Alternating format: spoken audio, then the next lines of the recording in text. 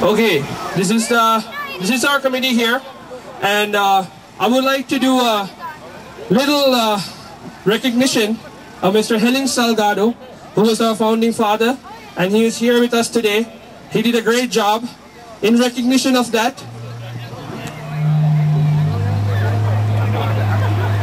in recognition of that, I got him Award of Excellence presented to Helen Salgadoe in recognition of being the founder president of Maris Stella College North American Branch, which was established in 1997 in Hamilton, Ontario, Canada. The 2007, the 2011 Maris Stella College North American Branch Committee. Congratulations, Hellings. Your work will always be in our hearts.